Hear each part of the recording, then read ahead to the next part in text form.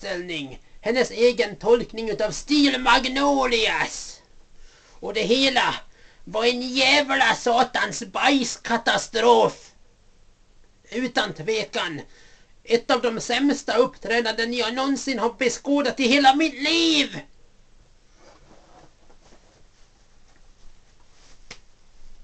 Det var jävla värdelöst. Jag fattar inte ett piss alltså.